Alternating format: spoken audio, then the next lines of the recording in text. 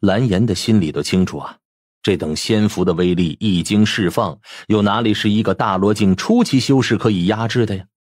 就在这时候，一直抱头打滚的韩立突然身形一指，猛然一个翻滚，身形一闪之下，几乎瞬间从原地消失，直接冲到了提魂身前。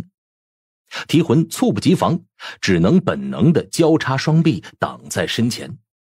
结果紧接着，韩立就五指成爪，朝着他猛然拍了过来。提魂透过双臂间的空隙，看到韩立的面容已经整个扭曲，变成了一张满是狰狞凶恶的面孔。他夸张的咧开了嘴角，甚至还流淌着些许透明的咸水。你似乎和他的气息连接的很紧密呀！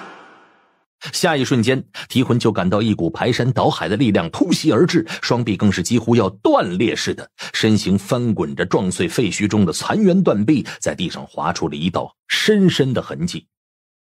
他的身形好不容易撞在了一块巨大石壁上，才终于停了下来，一手忙捂住嘴巴，却仍是忍不住。哇的一声，呕出了一口鲜血。哈哈哈哈哈哈！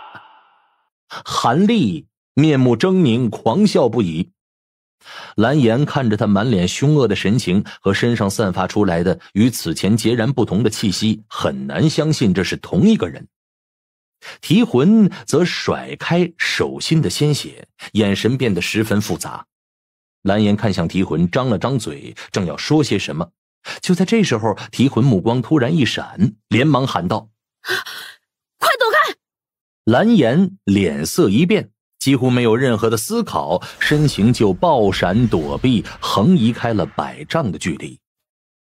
他的身形刚一移动，原本站立的地方就一声爆鸣，炸开了一个巨大无比的深坑。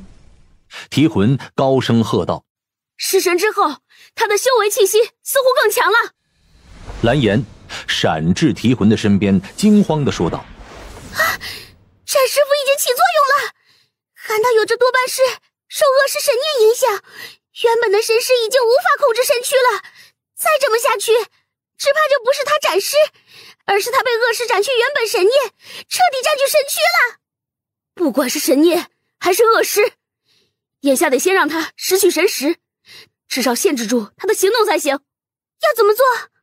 帮我限制住他的行动片刻，我来想办法。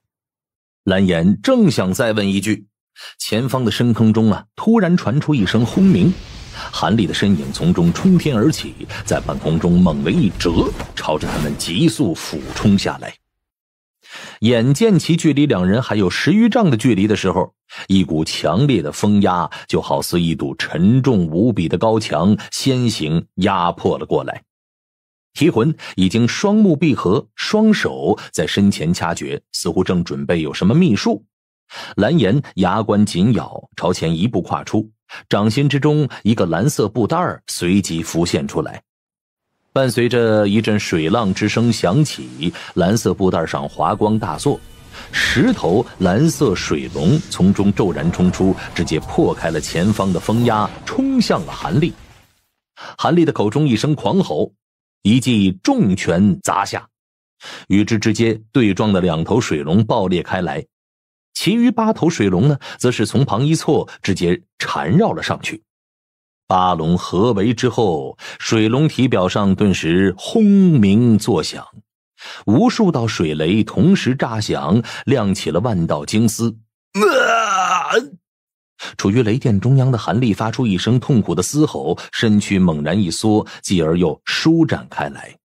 这一张一弛之下，他的周身上顿时爆发出一层暗红色的气息，竟是在瞬间激发了全身的血脉之力，化作阵阵强大无比的冲击波动，把周围的水雷电光尽数的逼退开来。蓝颜身形巨震。口鼻皆有血迹渗出，大声的呼喊道：“好了？”一旁的提魂仍是闭眼无言，没有半点反应。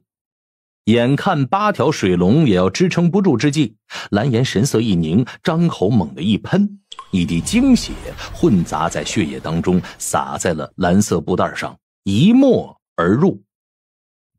蓝色布袋上顿时光芒大作，那八头已然落在下风的水龙顿时蓝光一闪，纷纷张口喷出了一团金蓝色的球形闪电，朝着正中央的韩立啊砸了过去。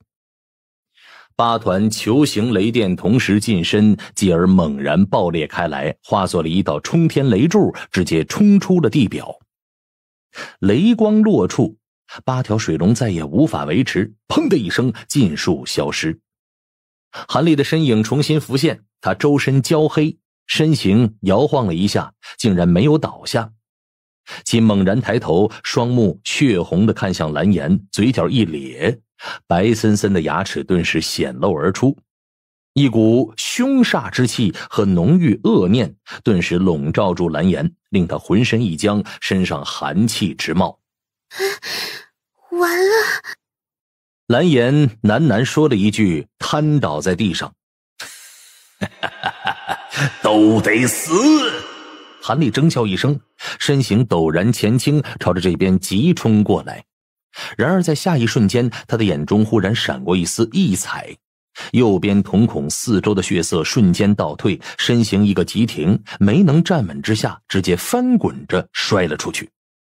紧接着，就见一道人影突然闪身而至，其身形未稳之际，直接来到了韩立的身前，一掌按在了他的头顶正中。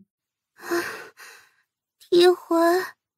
蓝颜看清那道身影之后，终于稍微的松了一口气。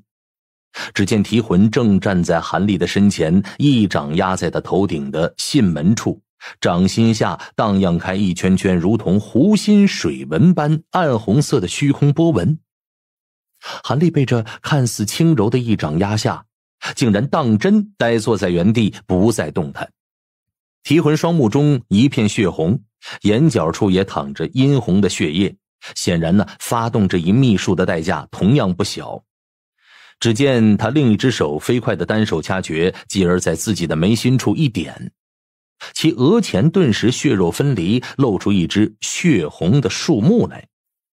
紧接着，就见那血色的树木当中微光一闪，一道道血色青丝如藤蔓一般蔓延而出，直接延伸着刺入了韩立的眉心里。啊就在血色青丝进入韩立眉心的一瞬间，提魂口中发出一声惨呼，双眼同时紧闭起来。下一瞬间，提魂的神念便进入到韩立的识海当中。第一次见到韩立的识海，提魂这才发现呐，里面竟然是一片异常磅礴广阔的天地。只是这片石海天地此刻却是混乱不堪，到处都能看到风暴席卷，无数条接天龙卷横行肆虐，天空被层层的阴云压得极低，里面更是有阵阵滚雷轰鸣不断。感谢各位道友的收听，这一集的节目就到这儿了，下期我们继续修仙。